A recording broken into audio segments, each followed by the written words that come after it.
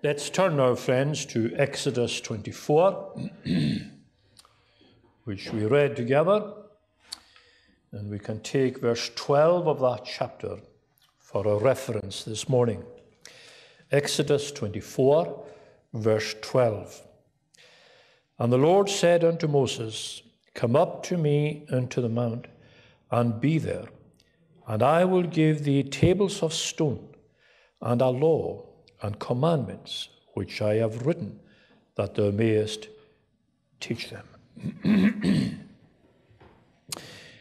friends, it's not my intention uh, to expound the Ten Commandments, which you possibly would have expected, given that our last sermon was from chapter 19, and naturally we would perhaps have gone into chapter 20, where the Ten Commandments are recorded for us.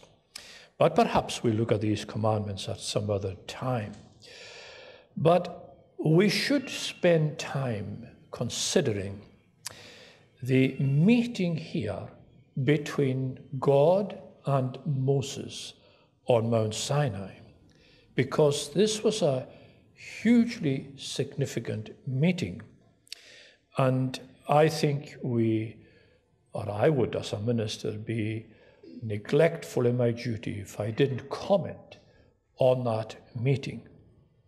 What took place between them, quite apart from God delivering the Ten Commandments, is intriguing to look at it. It is significant and it is hugely important. It was to the children of Israel, it is to the Christian church, and it remains so for the entire world.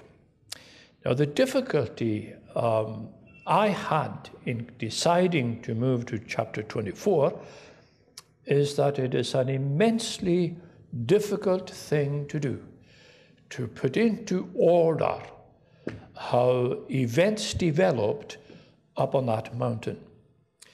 And the information on that picture is scattered throughout a number of chapters in the book of Exodus.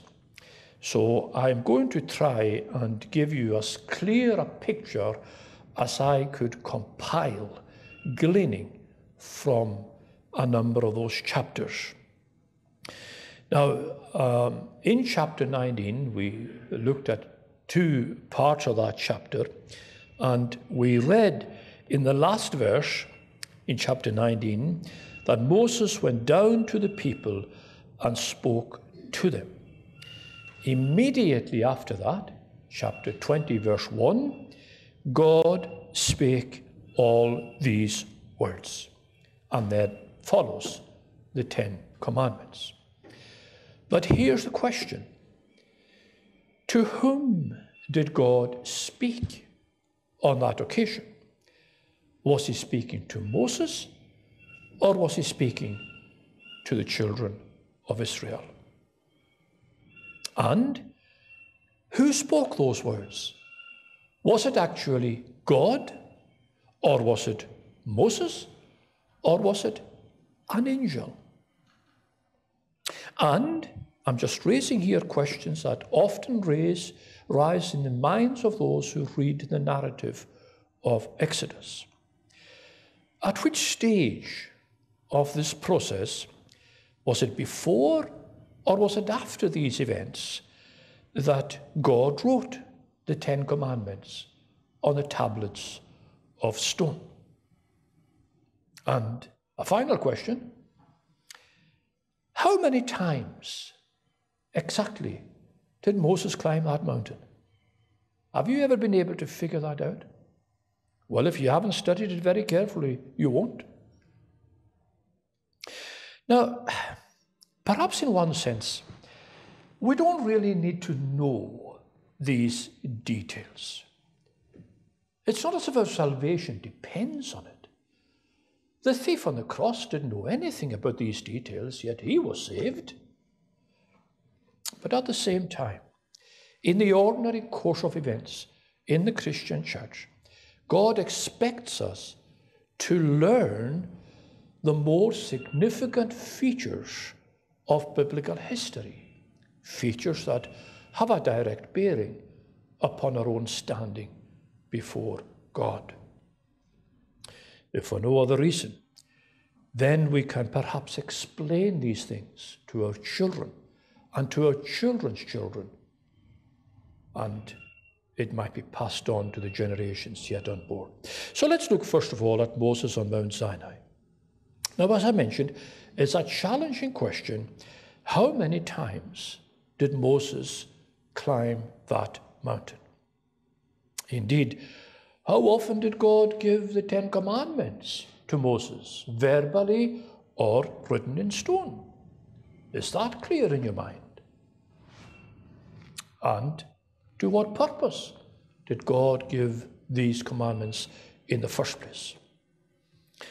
Now, before I go further in this, it's important to note that these commandments weren't new as far as God is concerned.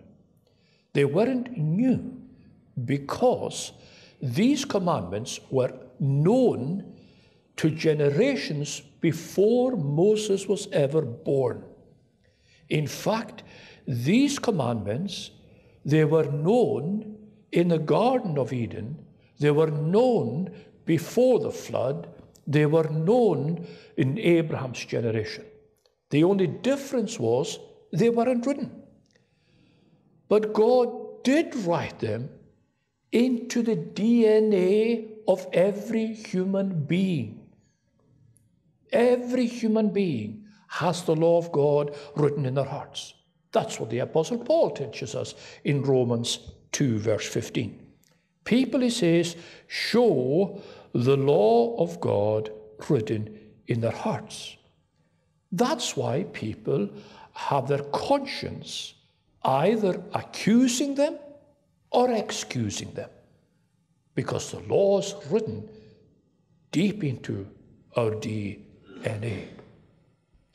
Now, when you look at uh, some of the events that unfolded in uh, early uh, history, such as Cain killing his brother.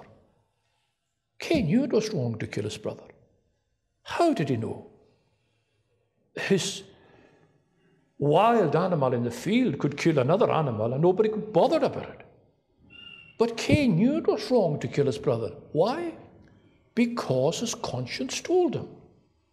The generation that lived before the flood of Noah, they knew they were being sinful in their conduct because their conscience was telling them that. Meanwhile, God's purpose at Sinai was twofold. He wrote those laws to codify in the simplest possible terms his laws for our benefit. So that we could open our Bibles at Exodus 20 or open our catechism and read there in 10 simple commandments how God wants us to live religiously and morally.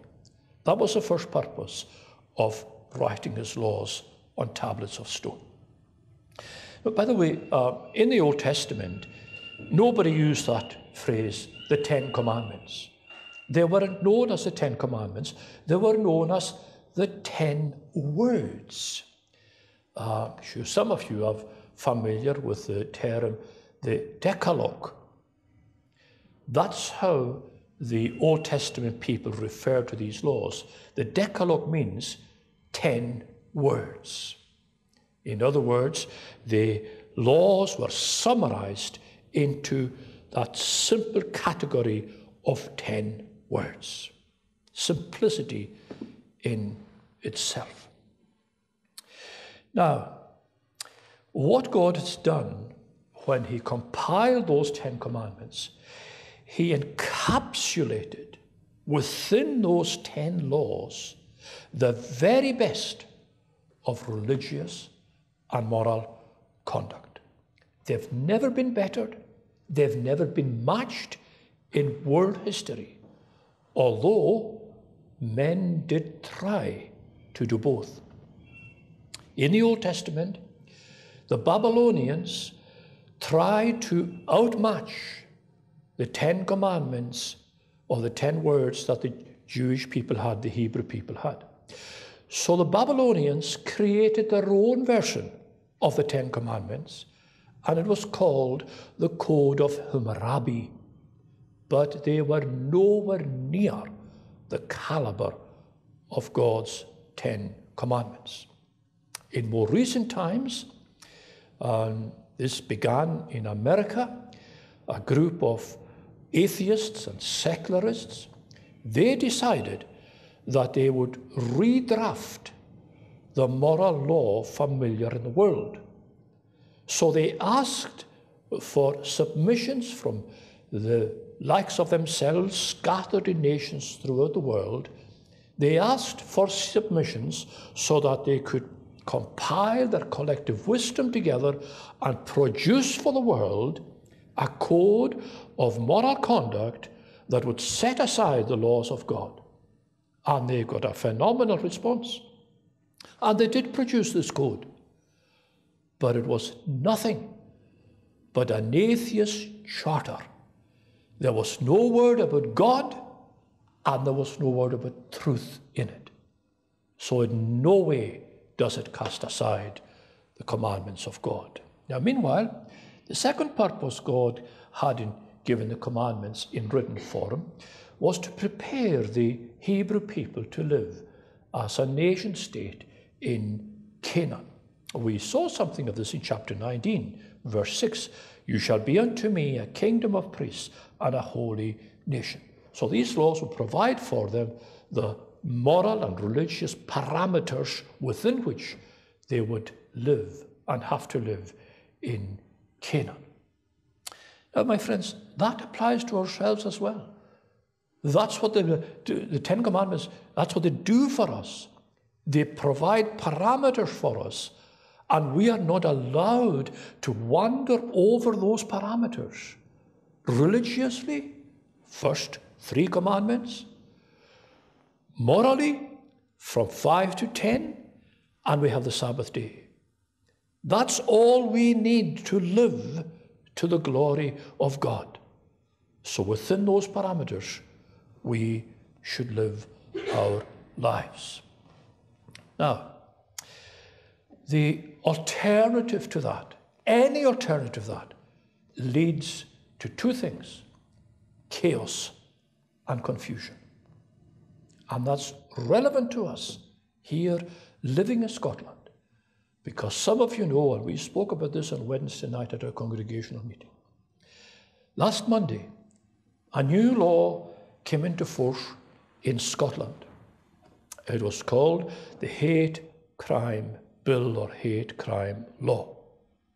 And at the heart of that law is a challenge, if not even a dismissal, of God's moral code because the SNP government are insisting that they know best how one should love one's neighbor. How one should love one's neighbor. Now, when you consider that law that came into force last Monday and the Ten Commandments of God, what have we got? We've got these laws with a track record of 3,500 years. And during that time, they benefited humanity no end. And we've got this new law. It's less than a week old and it's already proved to be chaos and confusion.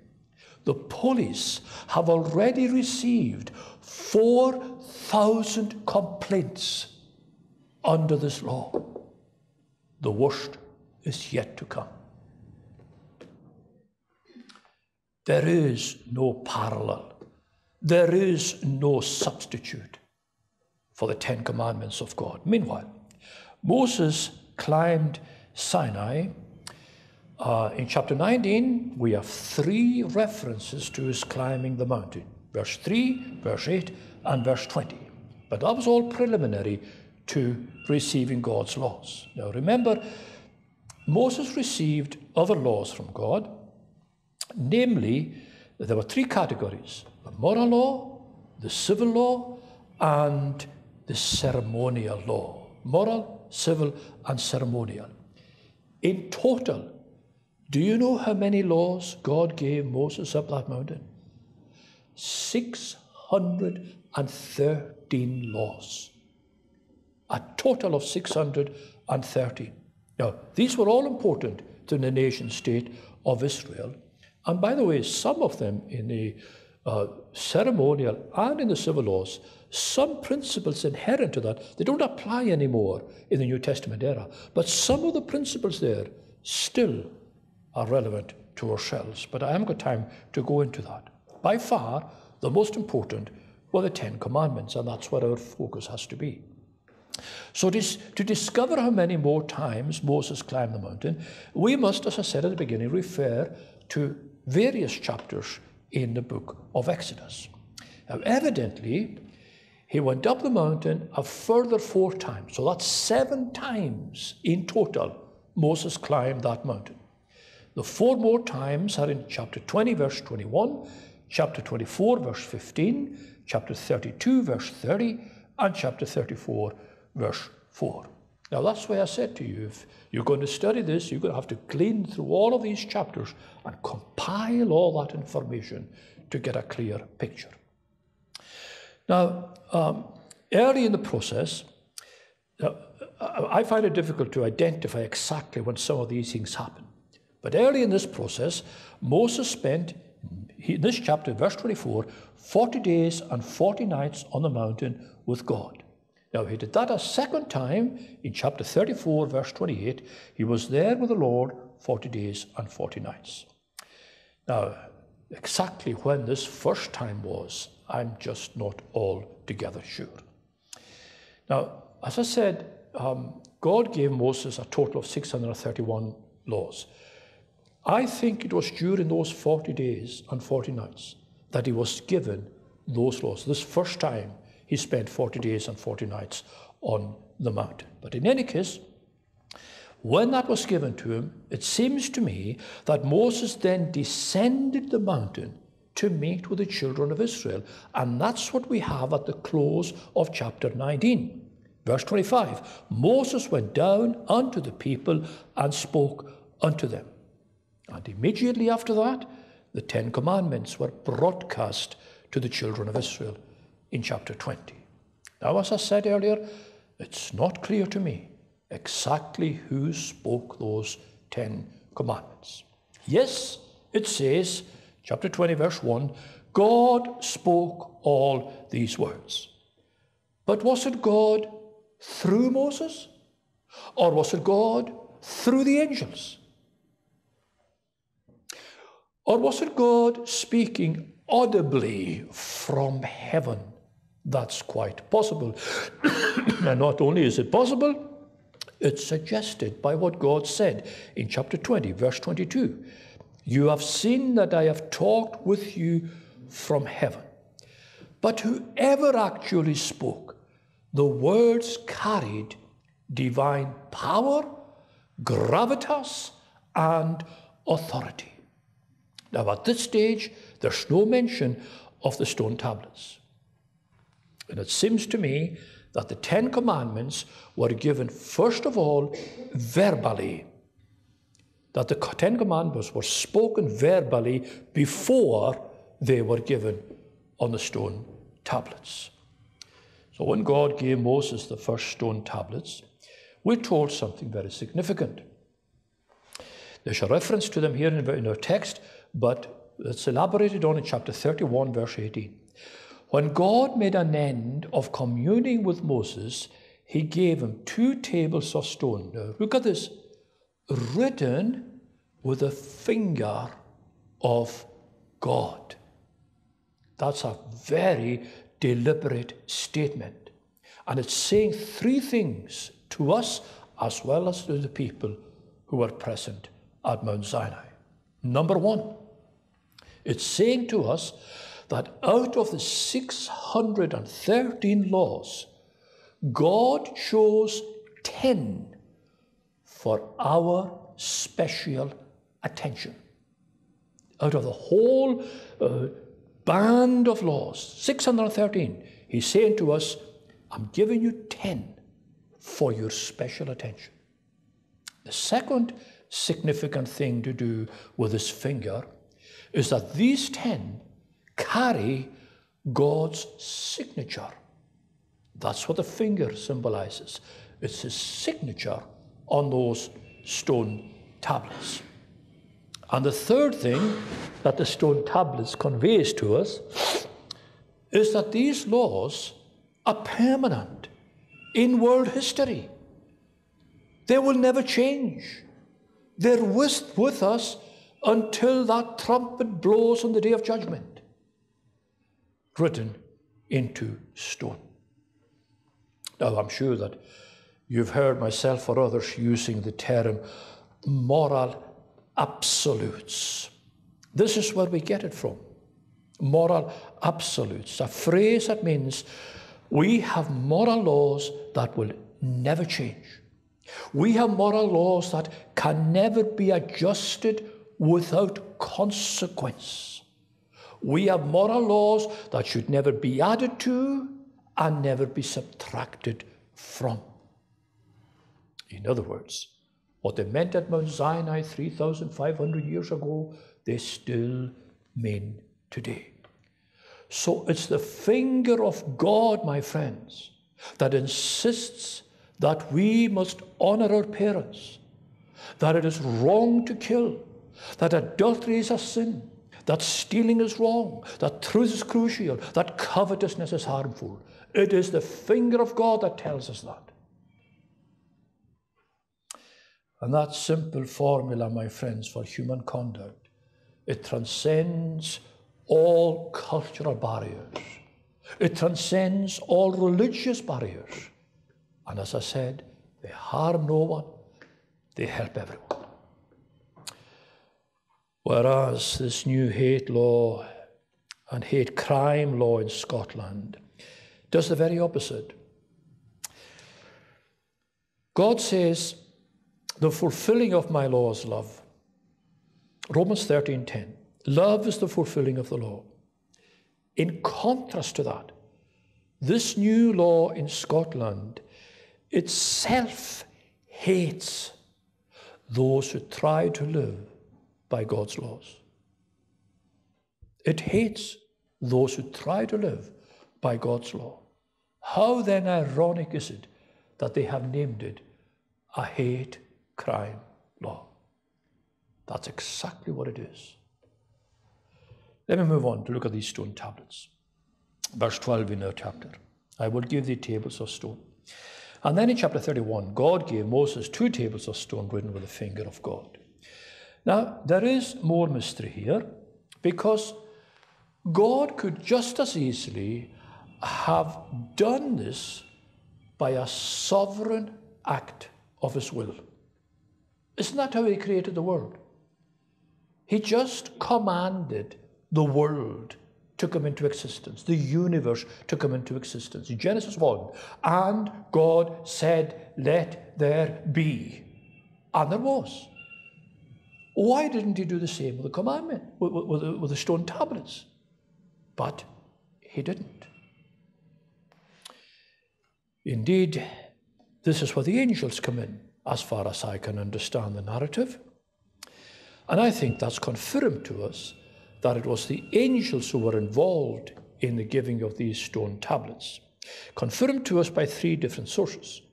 First of all, Moses himself confirms it to us 40 years after this in the book of Deuteronomy, chapter 33, verse 2. God came with ten thousands of his saints. Now, that doesn't referring to saints as in holy men and women, it refers to angels. God came with ten thousands of his saints, and from his right hand went a fiery law. That's a reference to the giving of the Ten Commandments on the Mount Sinai. Then David confirms it to us in the psalm we were singing a moment ago, Psalm 68, verse 17 God's chariots are 20,000 even thousands of angels. The Lord is among them as in Sinai. And then Paul confirms it in that portion we read in the New Testament, Galatians 3. It was ordained by angels in the hands of a mediator. Moses was the mediator. It was ordained by angels. And that word ordained in the Hebrew language means arranged. It was arranged by angels. But in any case, Moses was given those tablets to show the children of Israel that this was their charter for living in Canaan, set in stone. Now, before they could appreciate that amazing gift from God's hand, sadly and tragically, they fell victim to the roaring lion, Satan. You know, my friends, after Jesus Christ, there's nothing Satan hates more than God's law. He hated it then, and he hates it still today. So he immediately planted a seed of discontent amongst the children of Israel. As soon as he became aware of what was happening up the mountain, he planted a seed of discontent, making the people complain of the time Moses spent up on the mountain. So they demanded of his brother Aaron, this is in chapter 32, verse 1, make us gods, Aaron, for this Moses, we don't know what's become of him. You see, my friends, the centuries they spent living in Egypt had a lasting and permanent effect on many of them. They were surrounded every day for 400 years by all sorts of gods and all sorts of vulgarity in the land of Egypt. And the favorite idol worship, the idol image in Egypt, was interestingly a bull calf. A bull calf. Now remember, they've just heard the voice of God commanding them, Thou shalt not make unto thee a graven image. Yet here they were, begging Aaron, Make us gods. And inexplicably, Aaron did. He told the people, All right, this is in chapter 32, verse 2 break off the golden earrings and bring them to me, and I will make you a god. And he got to work in defiance of God Chapter 32, verse 4 He fashioned it with a graving tool and made a molten calf. The same kind of idol worship they saw in Egypt. That wasn't enough. Offending God even more, they threw a party to celebrate. Chapter 32, verse 6 The people sat down to eat and drink and rose up to play. That's what greeted poor Moses when he came down the mountain holding those two tablets of stone in his hand. Chapter 32, verse 19. Moses saw the calf and the dancing, and his anger waxed hot.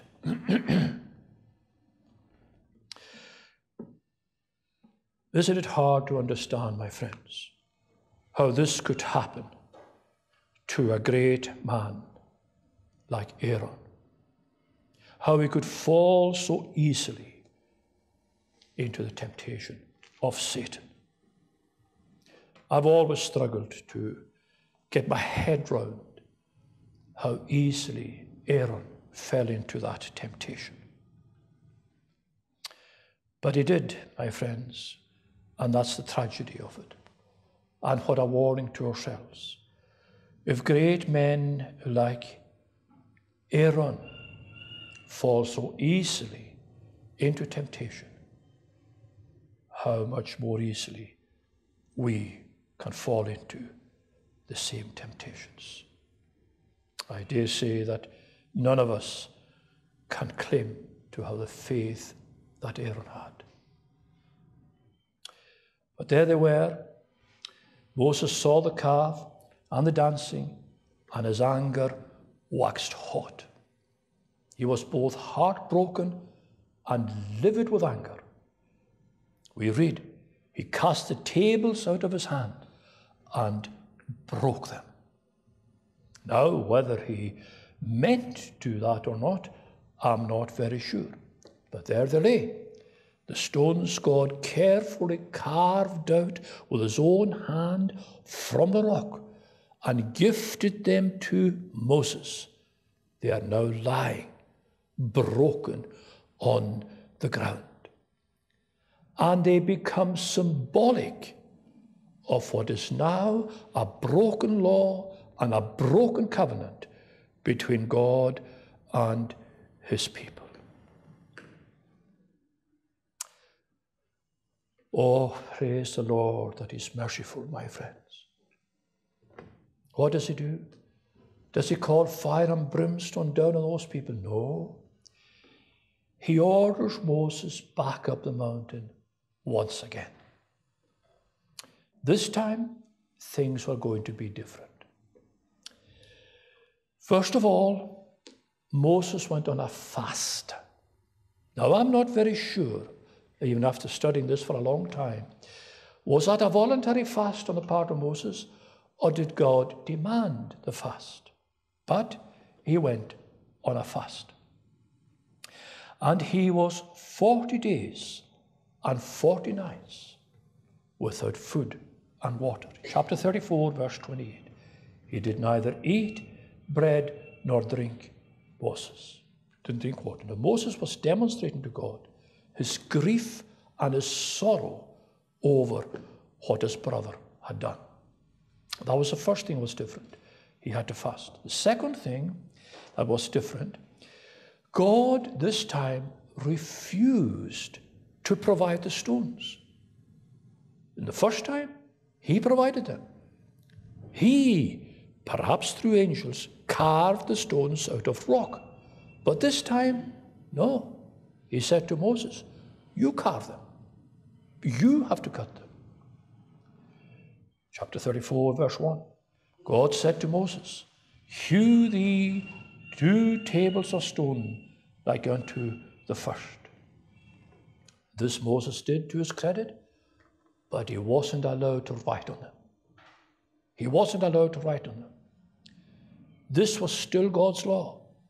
And it would be the finger of God that would again carve these laws into the rock.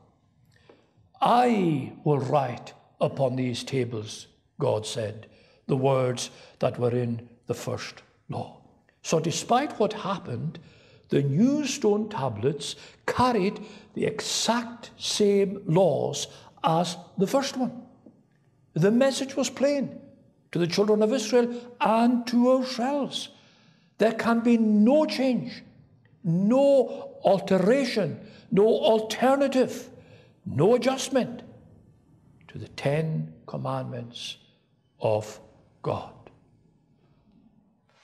I think that's why Jesus said what he did in the Sermon on the Mount in Matthew chapter 5.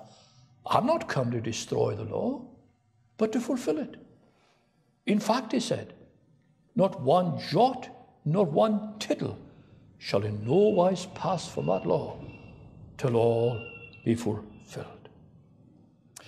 One more note I want to give you in connection with this law.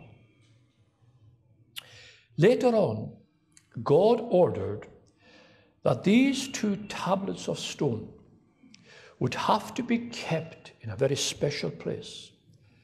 And they were placed into the Ark of the Covenant. This was a special box that had a special room in the tabernacle and in the temple later on called the Holy of Holies.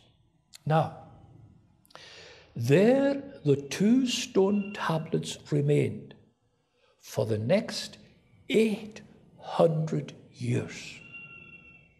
800 years until Nebuchadnezzar invaded Jerusalem. Now, what's important to notice from our point of view is that during all that time, those 800 years, those stone tablets containing the broken law of God had to be covered. They had to be covered. And they remained covered day and night for 800 years. Now, the top of the box that covered them was called the mercy seat. Called the mercy seat. Why? Because the broken laws underneath testified to the sin of humanity. And there was one message to Jew and to Gentile a message of condemnation over every sin. That's what the law does. It condemns every sin. That's why the top of the box was called the mercy seat. But that wasn't enough. That mercy seat then had to be sprinkled with blood once every year to atone for the sins of the children of Israel. Now, my friends, let me close with this. All the symbolism converges on Calvary, converges on the cross of Calvary. Because that broken law continues to condemn every sinner. It's the law that brings home to us that we are sinners. Romans chapter 3. By the law is the knowledge of sin. However, praise God's name, He has given us a way out of that condemnation. A way out of that condemnation. Galatians 3, we read, the law is our schoolmaster to bring us unto Christ. The law won't save us, but the law will bring us to that place where we realize I need Jesus Christ as my Savior.